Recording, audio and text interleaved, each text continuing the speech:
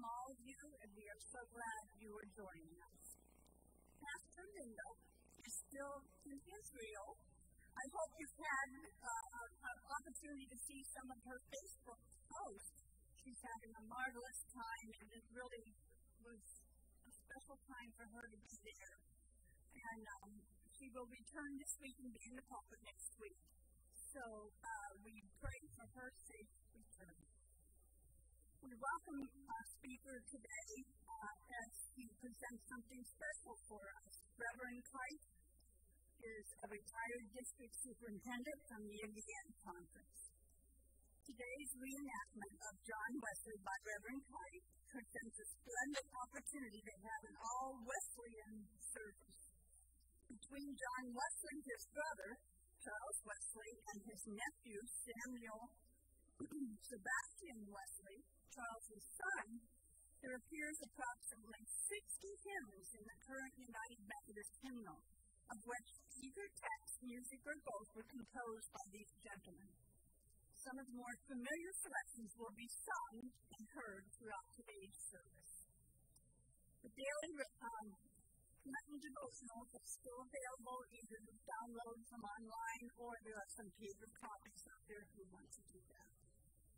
Today is the Dr. Paul Bender Memorial Sarasota Crop Walk. Dr. Bender was our associate pastor years ago, and this is he was very concerned with hunger problems, and so they have dedicated this walk today to him. We have a team of walkers that are going to participate and help end hunger locally and worldwide. So if you would like to uh, support one of the walkers, uh, I know Pam Pierce and several different others are walking, so if you want to support them with a donation, you can see them after the service. Um, AARP safe driving classes were scheduled twice this month, but they have been canceled. Uh, Lee is right here with us. Where are you? Right here. So you can see him afterwards if you need more information on that. We are very sad to announce that Jerry Countryman Marshall, our eldest member at 140 years of age, died peacefully in her sleep at home last Wednesday. Her family plans to have a memorial service here at Trinity sometime after Easter. We will let you know. Please see the other announcements that are in your handout or that were on the list before the service. If there's no more announcements, I invite you to stand for our invitation.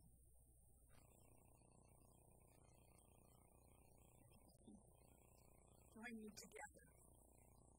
Gracious God, make us aware of your great spirit here in this place.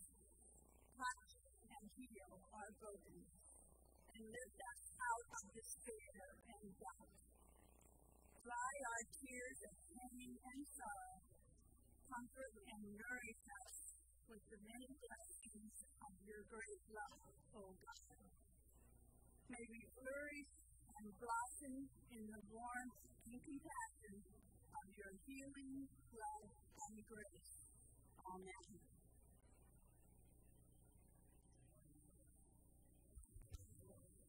Wesleyan brothers, both Charles and John Wesley, were very well known to make music a crucial part of their ministry.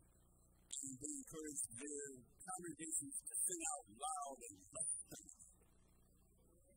In fact, they were so much into hot singing that the Lutherans became jealous of the Methodists. So let's see if that can happen today. I'll start you out, and you take it from there. four sentences over a thousand times to sing. one of the best known Wesleyan hymns.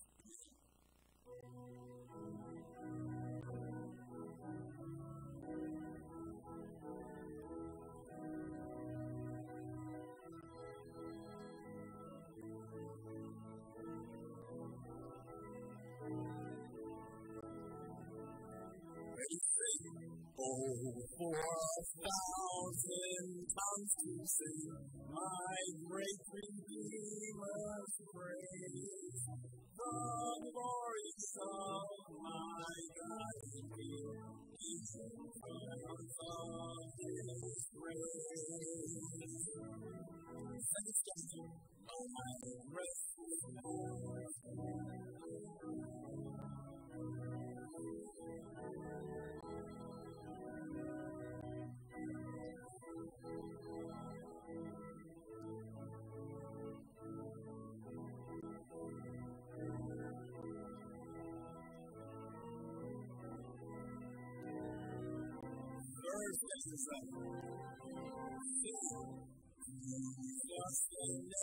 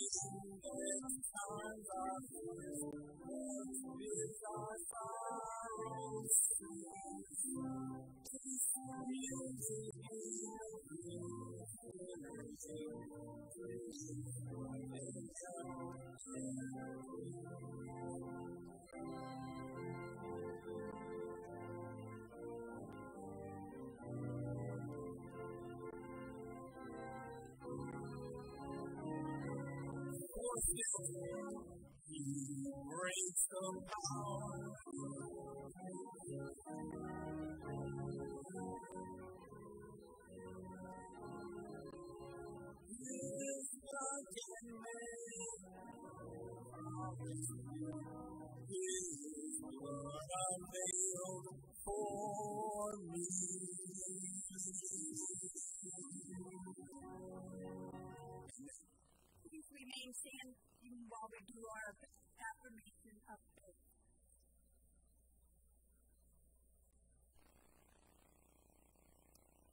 I believe in God, the Father Almighty, maker of heaven and earth, and in Jesus Christ, his only Son, our Lord, who was conceived by the Holy Spirit, born of the Virgin Mary, suffered under Pontius Pilate, was crucified, dead, and buried. The third day he rose from the dead. He ascended into heaven and stood at the right hand of God the Father Almighty. From thence he shall come to judge the dead. I believe in the Holy Spirit, the Holy Catholic Church, the communion of saints, the forgiveness of sins, Glory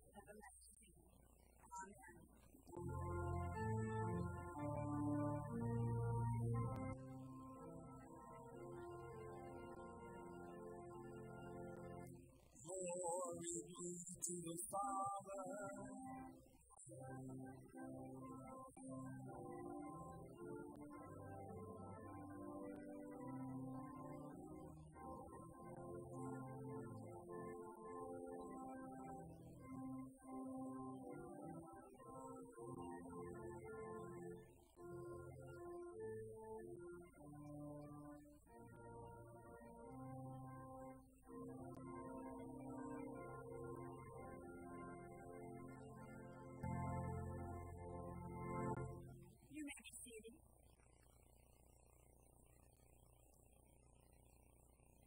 Prayer is an important part of Lent as it is the main source of communication to God.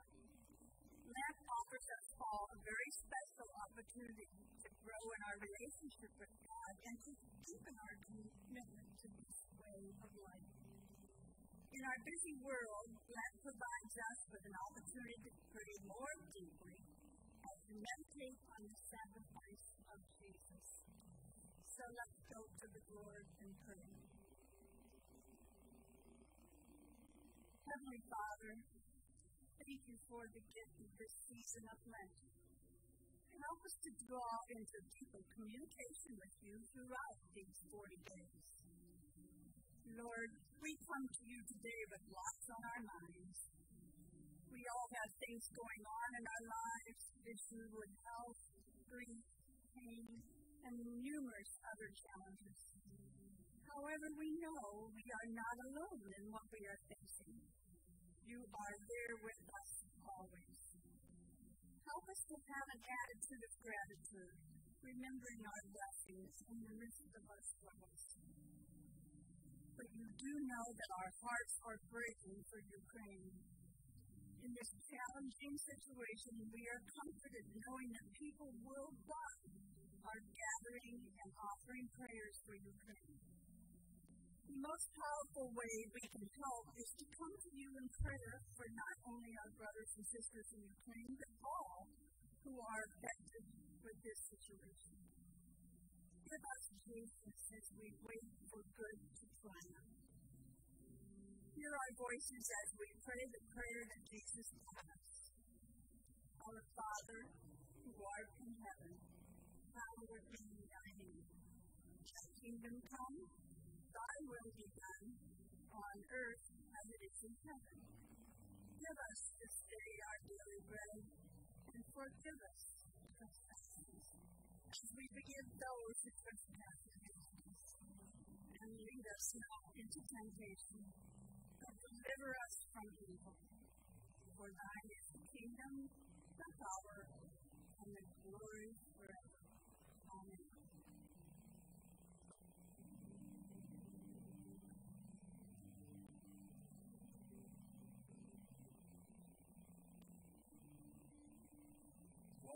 prepared to join the city in another West Virginia. All it takes is a few moments to share how of the extraordinary life and ministry of David Wilson had an indirect yet profound effect on my very family just three generations ago. You see, mercy was among just a handful of known, very well known individuals. Adam so Wesley was inspired to write a pamphlet called Upon Satan, which explores how was in the research of This is not welcomed by slave owners, including some founding fathers. The transitional the youth who had flying back in the slave trade.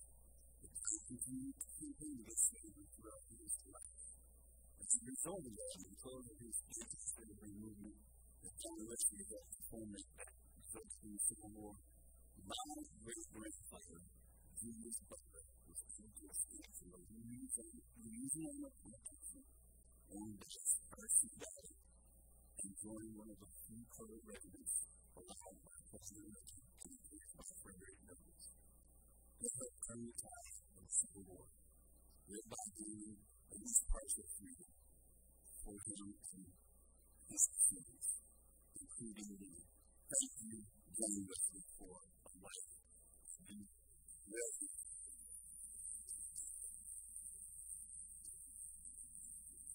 Serve as. Now this prayer takes us to Psalm 332, Spirit of Faith, come. Thank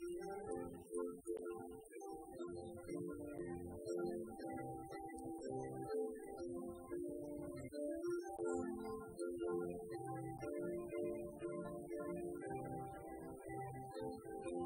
Spirit, of faith come down.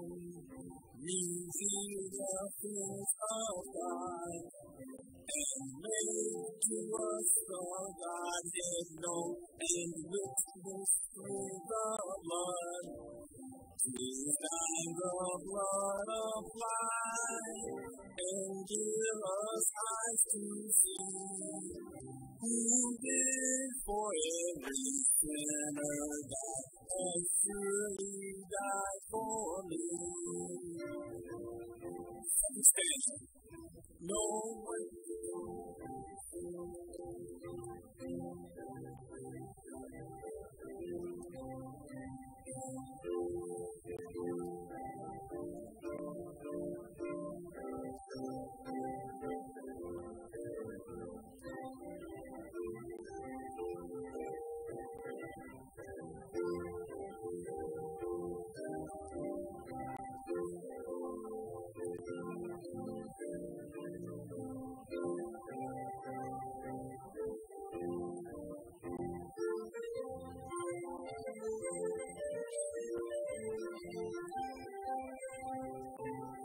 Thursday, Sunday, know that the world may know. We all atoning lamb, spirit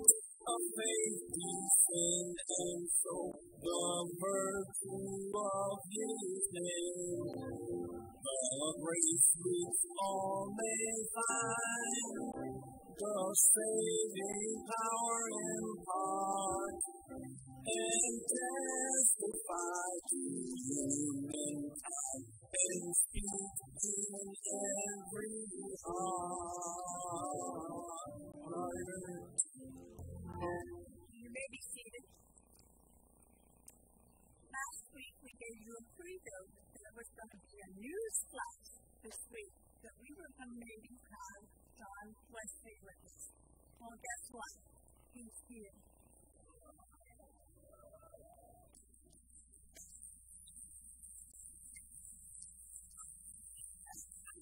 Well, good morning, ladies and gentlemen. It is indeed a pleasure to be among the people called Methodists this day. As we have gathered to worship, I want to thank our good music leader. Thank you, sir, for inspiring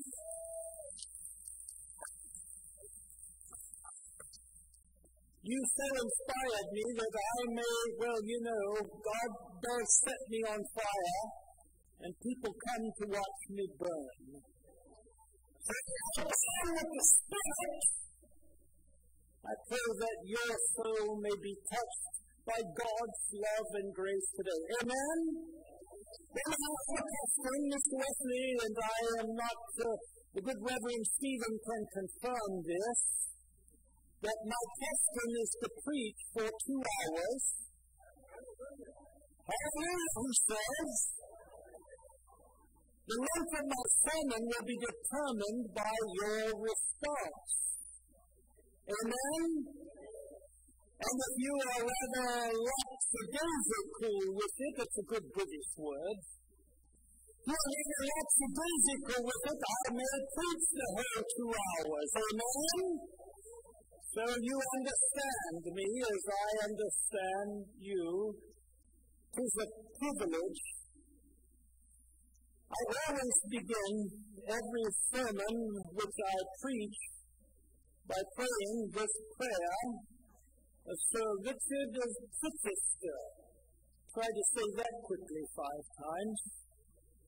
But I always pray this prayer, and I invite you to join with me now as we pray. Teach me, my God and King, in all things be to see, and what I do in anything, to do it as for thee.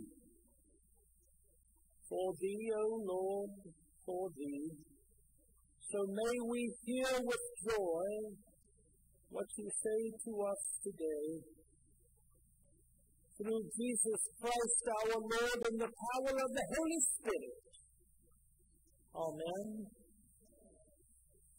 Well, the scripture reading for this morning is a very familiar passage for many of you from the Apostle Paul. You know that Paul wrote at least two thirds of the New Testament, but I believe the most powerful of his writings, I would call it Paul's Gospel, is the book of Romans, because in it he explicates precisely how we come to faith how we are to live faith, and then how we are to walk in God's grace.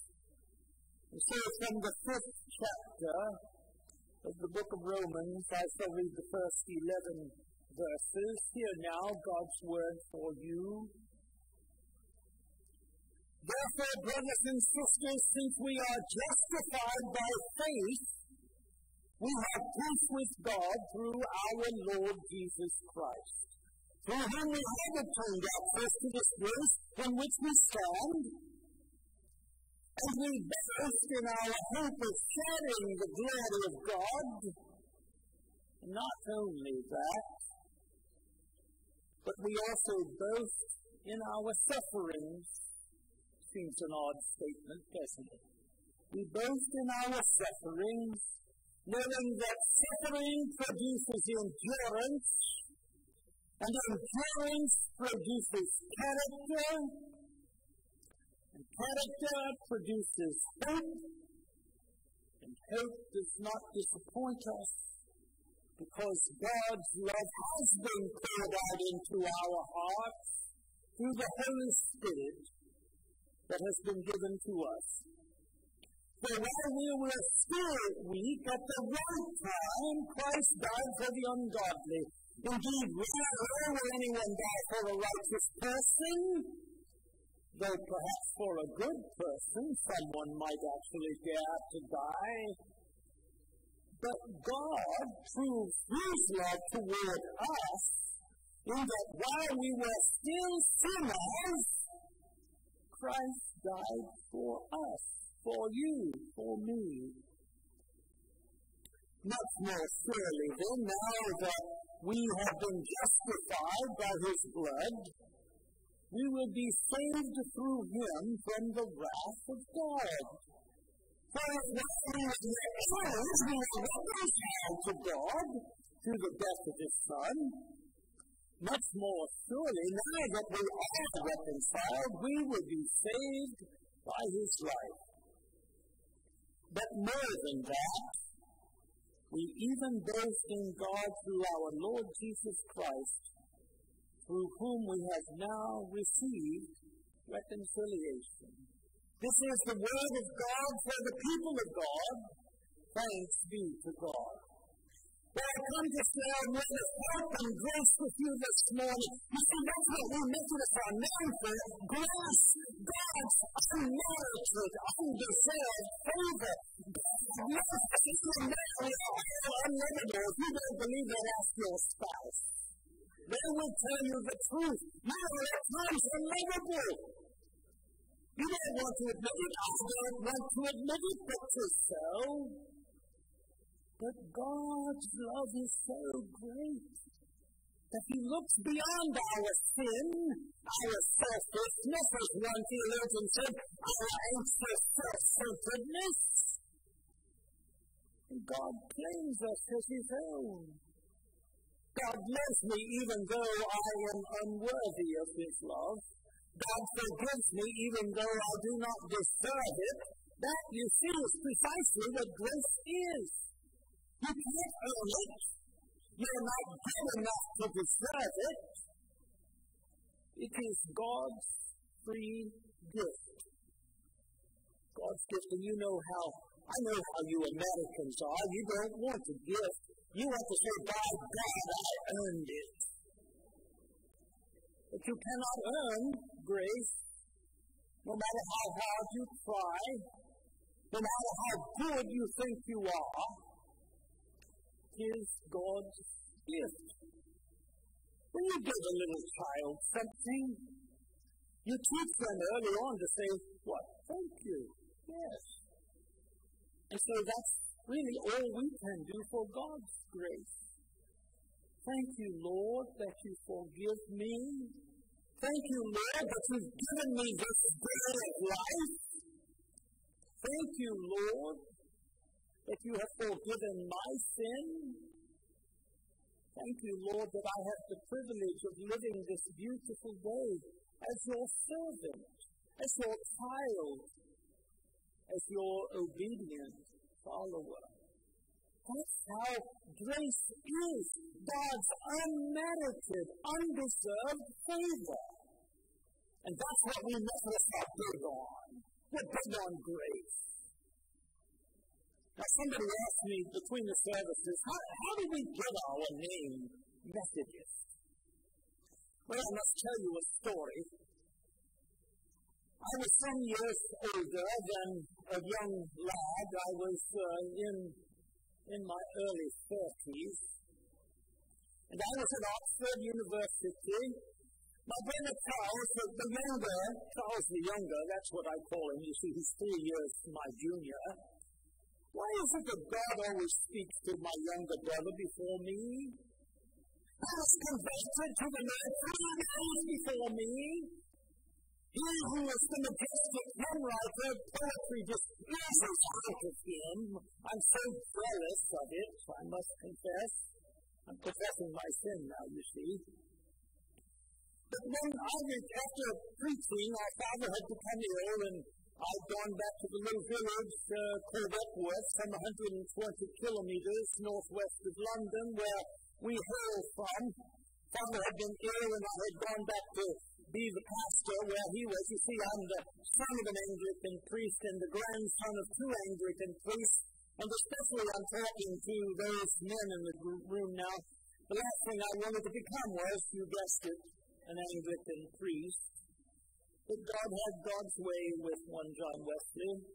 And here's how all of that was occurring. You see, I was back at Oxford where I was privileged to be a, a teacher. And my brother Charles and another rather famous American Christian, George Whitefield, who was much of the revival movement in your country in the 1750s and on, we joined together every morning for what we called ourselves the Holy Club. It was not a, a happy name. We did not mean it that way. We meant it authentically to live a holy life. H-O-L-Y, not W-H-O-L-L-Y, but I guess it was that too. But our desire was to live as holy a life as we could. We gathered in a pub because you see that's where we Brits uh, eat and meet. So there was this little pub at Oxford, and they had a second story room, and we would go up the stairs and meet. There was a round table. There would be seven or eight of us. And every morning at 5 a.m. sharp, I'm not going to ask you how many of you are up at 5 a.m. But every morning, 5 a.m. sharp, we would meet. We would read the Holy Scripture for that day. We would pray, asking God's mercy. And then we did what you Americans might think is a rather peculiar thing. But we would confess our sins in the presence of our brothers. I, I won't say sisters because it was all brothers at that point. We would confess our sins to our brothers. And then one of us would speak God's word of forgiveness to that brother and say, Charles, John, whoever, Thomas, whoever you are, in the name of Jesus, you are forgiven. Those powerful words that Reverend Stephen will draw us to as we receive Holy Communion today. You are forgiven. And so then we would pray and reflect and then we would make our plan for the day. Oh, and over at the same time, we Methodists would be eating, you know, because we that is holy for us, Methodists, to eat. As one preacher told me, we meet to eat, eat to meet, meet to will beat. Well, that's what we do. And so every morning, 5 a.m. start, do all those things, have our breakfast. Then at 6 a.m. start, we would leave that place did you know that we Methodists were the first to visit in prisons? Did you know that we Methodists were the first to visit in hospitals? Did you know that we Methodists were the first to start credit unions? It was all to do God's good in the world. Well, back to my story about being up in that upper room where that holy club was. And so we would come down at 5 a.m. and then we would leave at 6 a.m. stop to go and do all that ministry. And we would come down every morning, 6 a.m. stop, where there was a group of older, I suppose I can call them gentlemen, I'm not sure that they were, but they would rather make fun of we young Oxford dons. And they called us Bible laws and the Holy Club and those Methodists because we were so methodical. They made as a term of derision, but we took it as a badge of honor. We should be so methodical in praying and reading the Holy Scriptures, in joining together with brothers and sisters, in praying, and then leaving to go and do good in the world. That's what we Methodists are about, to do all the good we can. We Methodists live by three simple rules. To do no harm, that's one writer called it a simple rule. I rather think it is most difficult not to do harm in the world. Sometimes we do harm when we mean to do well or do good, but we still do harm. I invite you to think about words you've said to your spouse or to your children. You may have meant it very lovingly, and they felt it like a knife in them. So sometimes it is not so easy to not do harm, but that's what we ought to do as Methodists, to do no harm, and then to do good.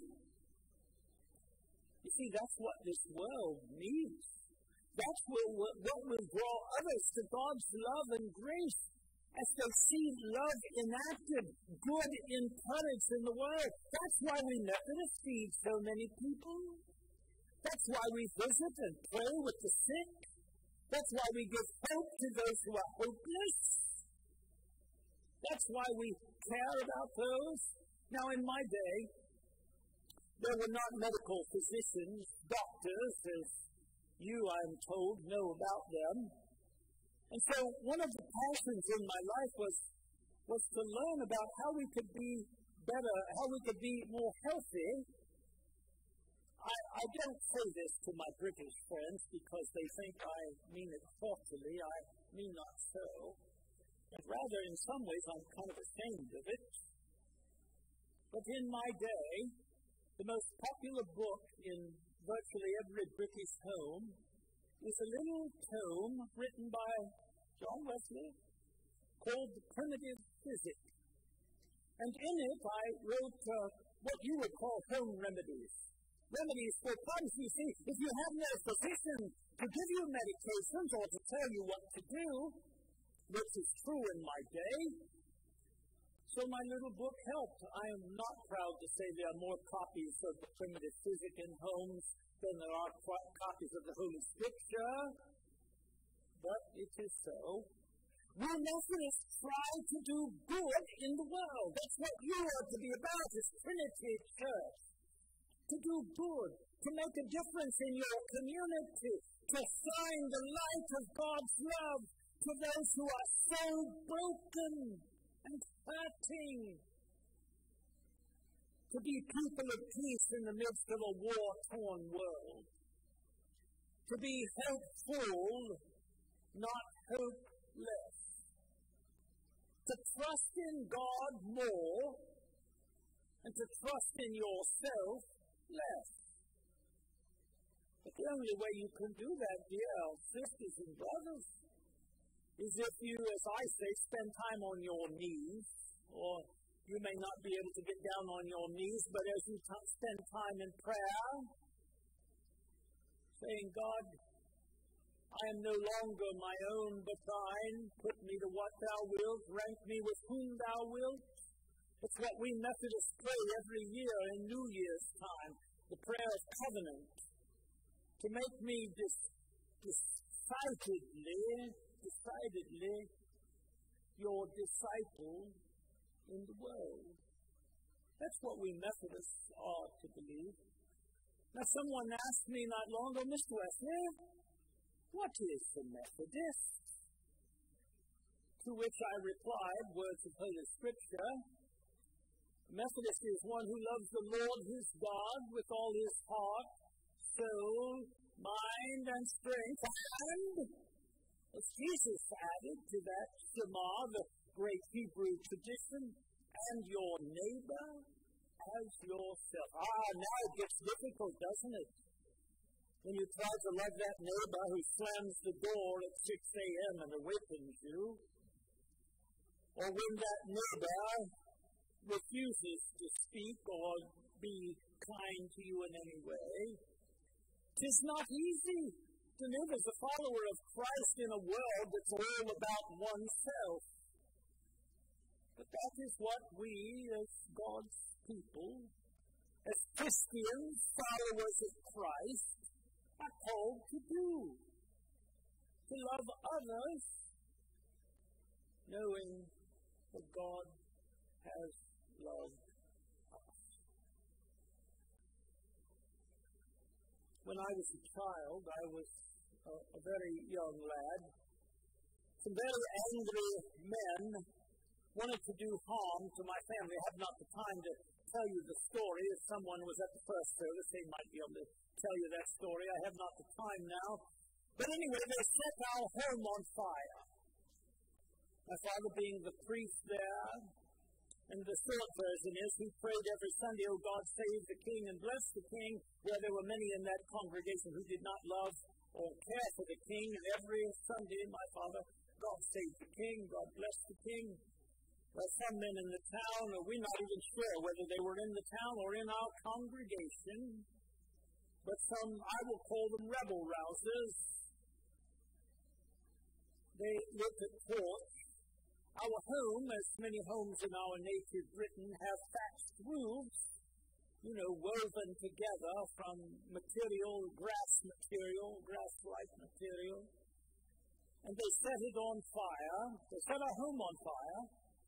Not once, not twice, but on the third occasion they were successful. Burned our home down. I was only six years old at the time. All my sisters and my brother Charles escaped.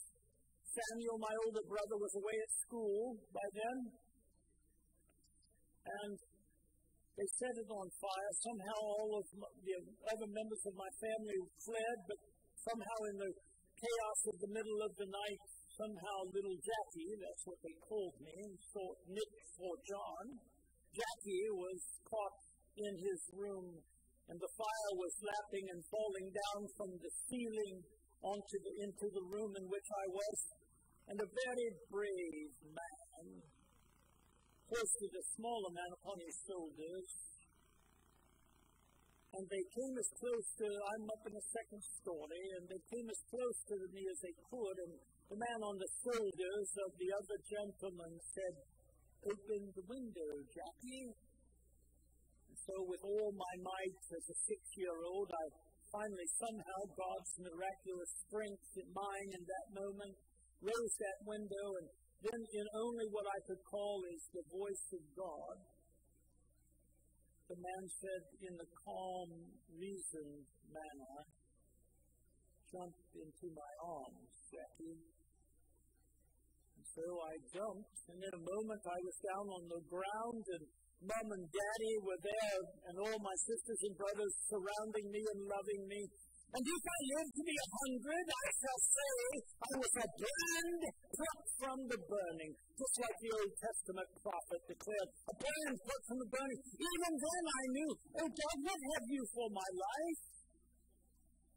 It's just a question I hope all of you ask, no matter your age and stage at this moment. Oh God, what have you for my life? What would you have me to do with whatever remaining time I may have on this earth? How can I be your person, God? How can I share your love with a broken and hurting world? How can I be the instrument of your peace in a cacophonous world? How can I lovingly, caringly, share the gospel with those who have not hope. You see, we who are followers of Christ, we have hope. We know to whom we belong.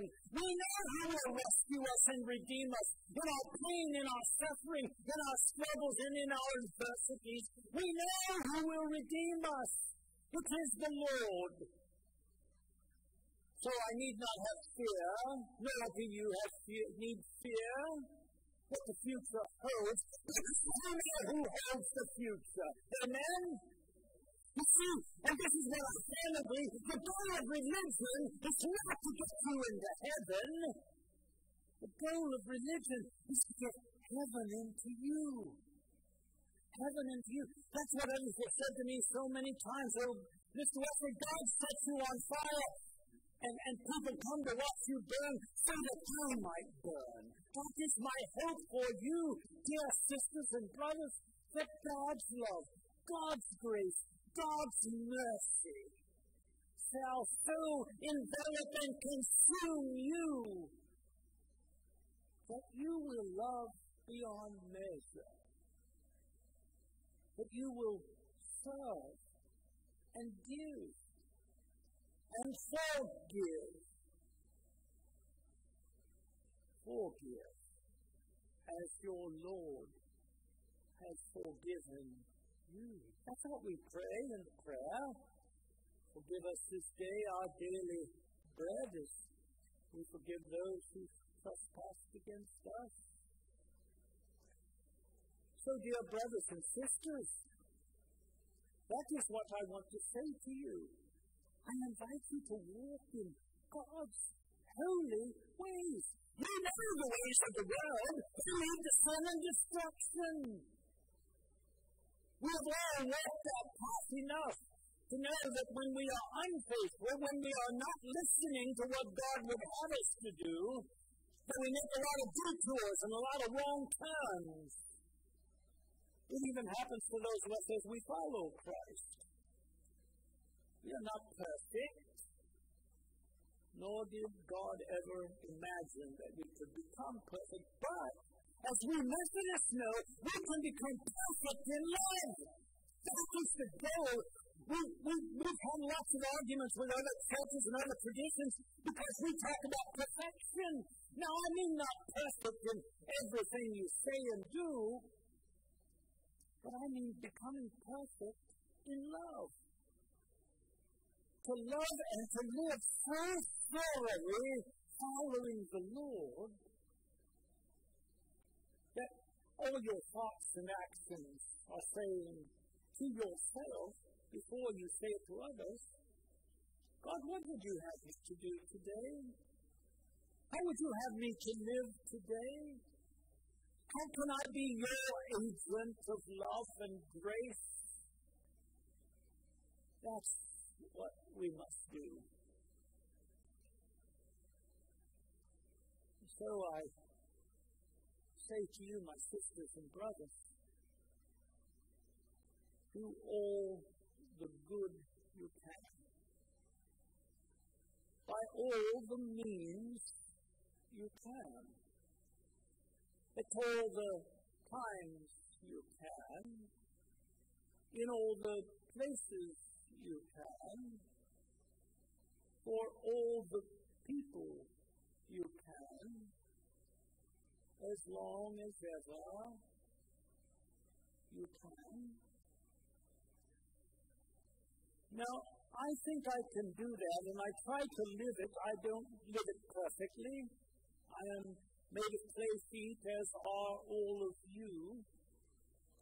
But I do strive, as the Holy Scriptures say, strive to be faithful.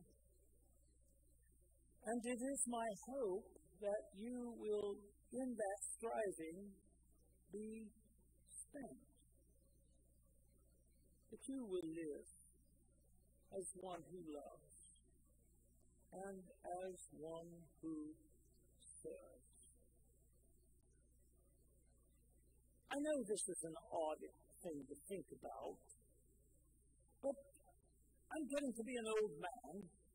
My father's last words were these. We, he had been ill. He had, we, Charles and I were at Oxford, and we had to travel that 140 kilometers back to our little native village of Epworth. Father was on his deathbed. We rode there as quickly as we could. Not sure if Father would still be alive when we arrived some days later, but fortunately he was. Mother met us at the door and said, Your father is waiting for you. We went into his room, and uh, there he was lying there on his bed.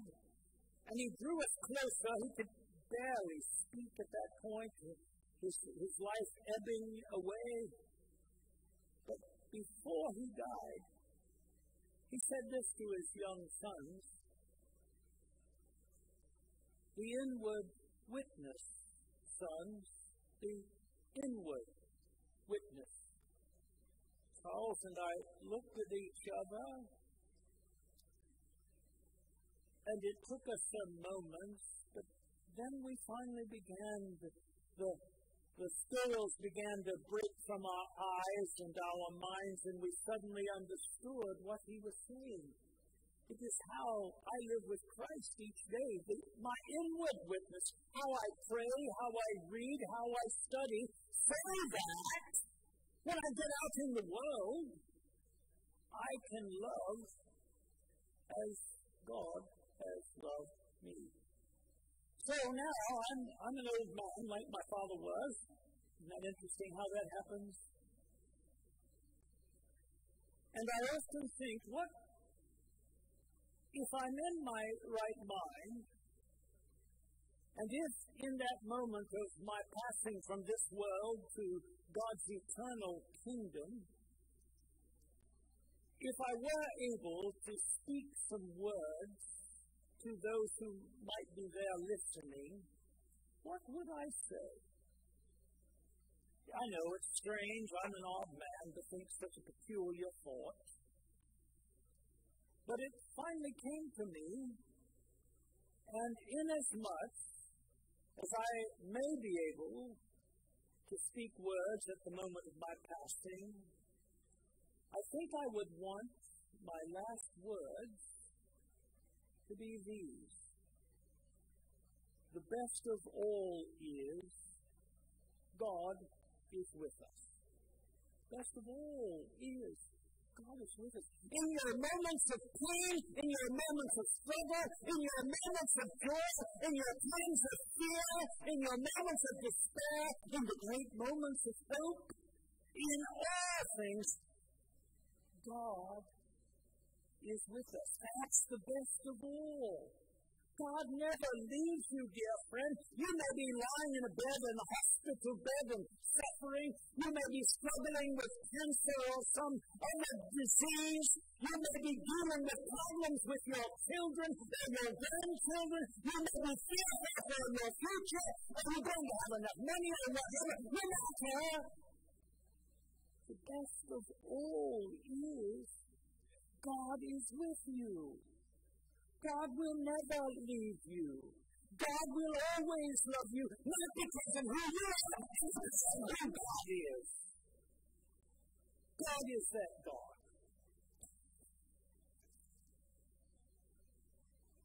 And so, love God with your whole heart, love Him, and serve Him never forget, never, ever, ever forget. The best of all is God is with us. Amen.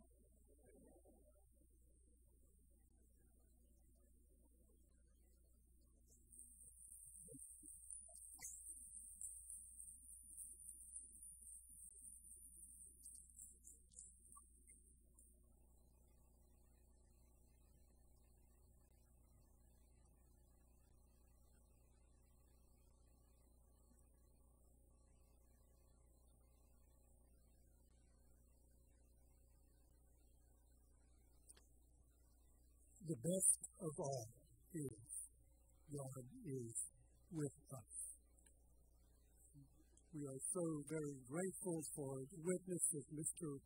Wesley in our midst this morning. Um, I'm grateful that it is within the context of celebrating the Lord's Supper as well, which was uh, particularly significant to Mr. Wesley.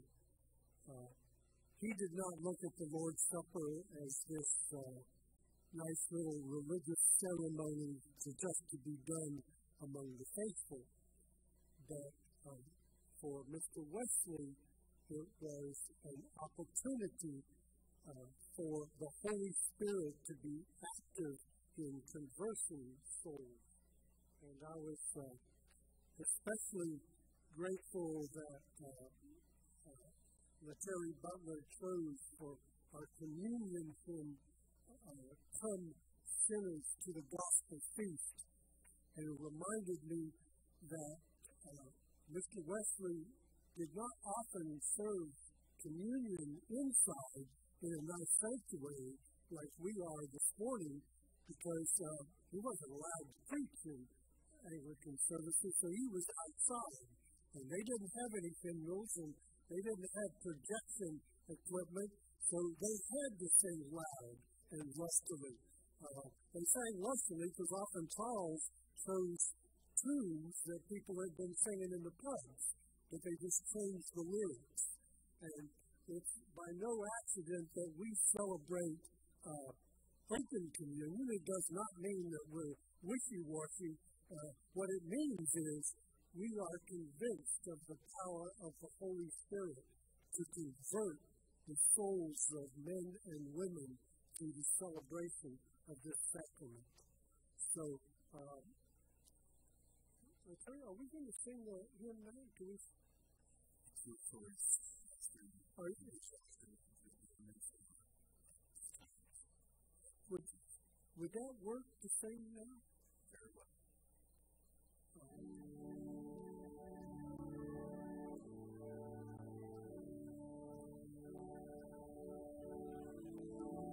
Number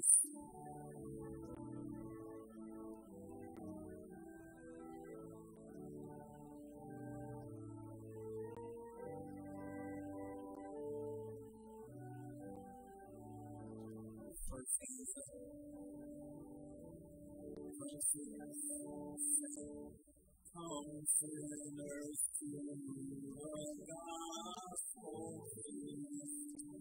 Let every soul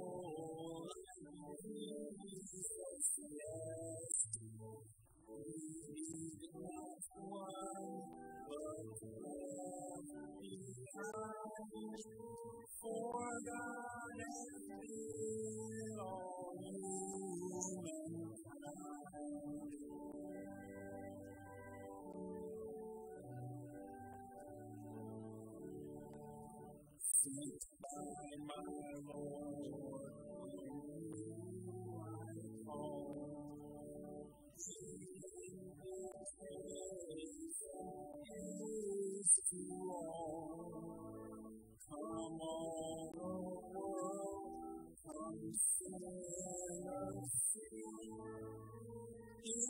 You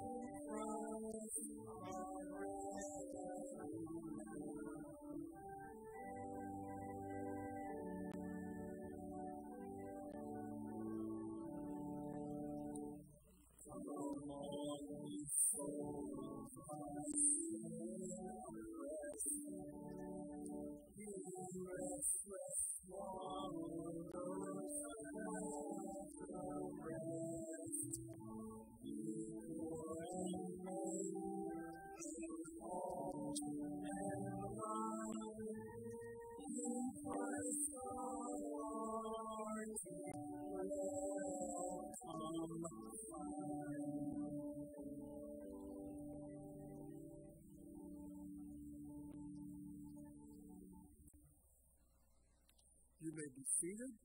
And uh, we're going to be a little bit retro here. Uh, I know we may not have used these, but uh, there's these books in front of you in the pew. We're not outside, we're in a sanctuary. Uh, so uh, you can either follow along uh, on the projection or in the, in the front of your hymnal, it's small number 12. Small, small number 12. So I invite you to hear this invitation. Christ our Lord invites to his table all who love him, who earnestly repent of their sin and seek to live in peace with one another. Let, therefore, let us confess our sins before God and one another. And we pray together.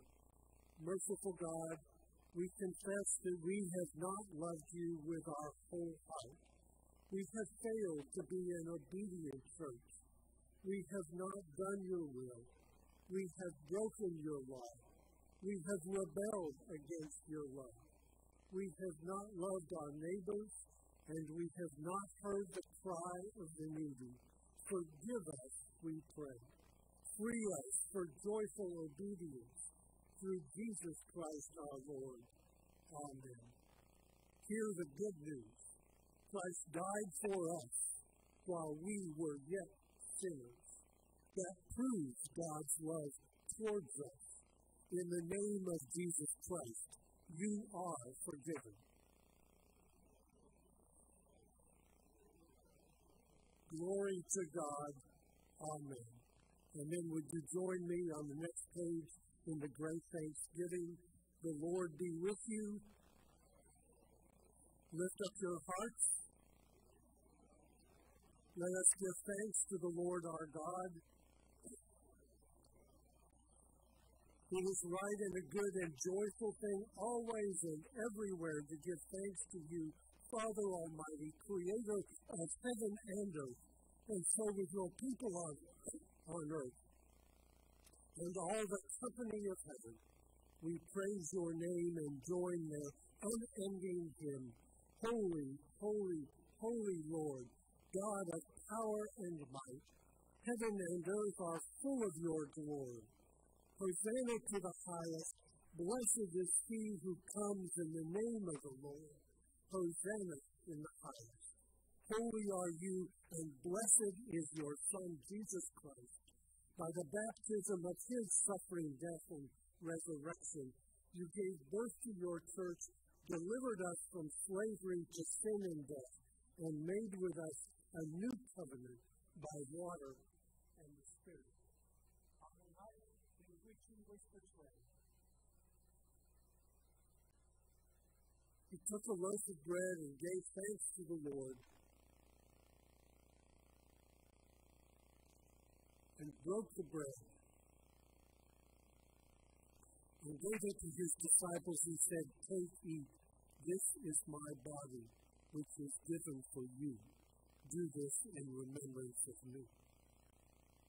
And after supper, he took the cup, and again he gave thanks to God. And then he gave it to his disciples and said, This is my blood of the new covenant, poured out not just for the forgiveness of your sins, but for the forgiveness of the sins of the whole world. Drink in remembrance of me.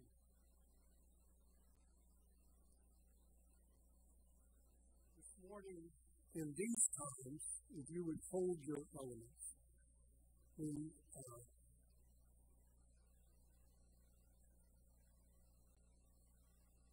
we hold these little pieces of bread and juice that is an opportunity for us to celebrate not just by ourselves personally, but that when we take these elements, these specific elements, it is an opportunity for us to celebrate with amongst each other as one people and in solidarity and peace and love and compassion with brothers and sisters in Christ around the world, where Pastor Linda is celebrating communion in the Holy Land, where there are brothers and sisters in Ukraine this morning celebrating the Lord's Supper.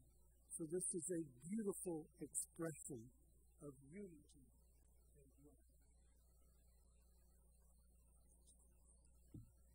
and so in remembrance of these your mighty acts, we offer ourselves in praise and thanksgiving as a holy and living sacrifice in union with Christ's offering for us as we proclaim the mystery of faith. Christ has died, Christ is risen, Christ will come again. Pour out your Holy Spirit on us gathered here and on these gifts of bread and wine. Make them be for us the body and blood of Christ that we may be for the world the body of Christ redeemed by his blood. By your Spirit, make us one with Christ, one with each other, and one in ministry to all the world until Christ comes in final victory, and together we all feast together at that heavenly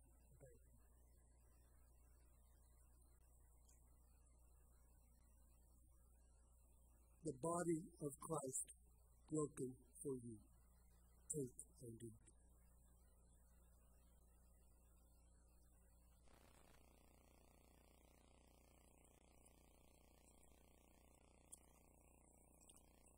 The blood of Christ poured out for you.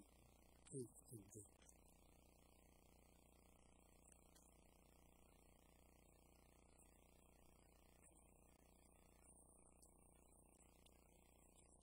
Lord, this morning we thank you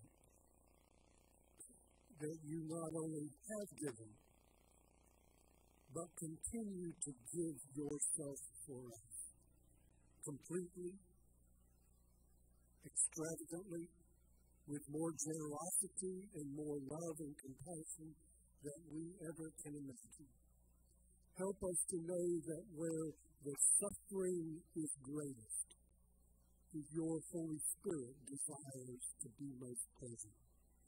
So give us the courage to go from this place as joyful, courageous witnesses embodying your love in the world.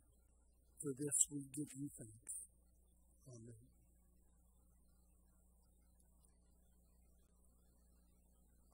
Final hymn is Oh, I, I forgot, almost forgot. I, I got carried away with Mr. Wesley here.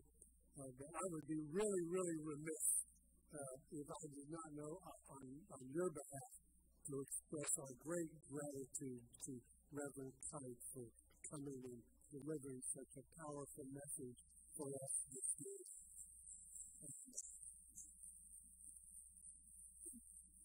These are wonderful times as United Methodists to have our uh, spines stiffened, as it were, and to be proud of our legacy of uh, followers along with John Wesley of the living Christ in this world. So when you say you're a United Methodist, hold your head up. Uh, and Karen reminded me that as an expression of your gratitude, there are some love bas- uh, there are some baskets in the back of the sanctuary on the way out if you would like to leave a love offering for uh, Reverend Kite. Uh, know that your uh, generosity will be blessed. So, let's stand and sing together. The final hymn, hymn number 715, for those who would prefer to write a hymnal, Rejoice the Lord is Peace. one of the few things that was known to be a ruthless condition. So we'll just do two things We faith.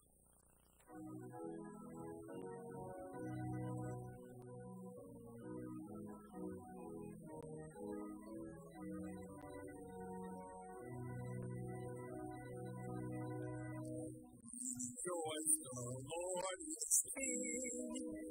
The Lord is in the More soldiers, thanks is Triumph forevermore.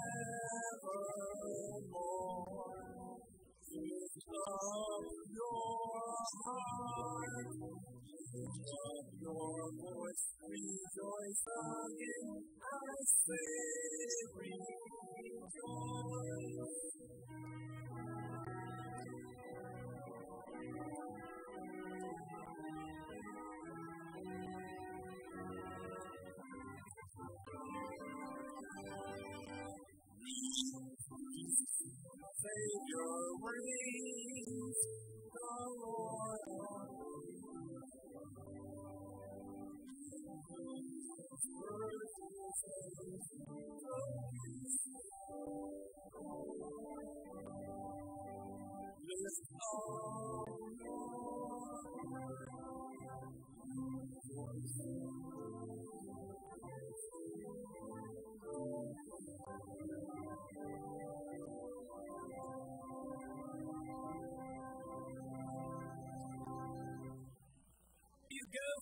this place with God's love in your heart. May you go assured of the love of Christ for you and that He forgives you and empowers you to be a person of love in the world. And may you never forget that the power of the Holy Spirit burns within you and that His love shall guide you through no matter the hardships or the pains or the suffering. For in all things, the best of all is, God is with us. And all of God's people shall together say, Amen.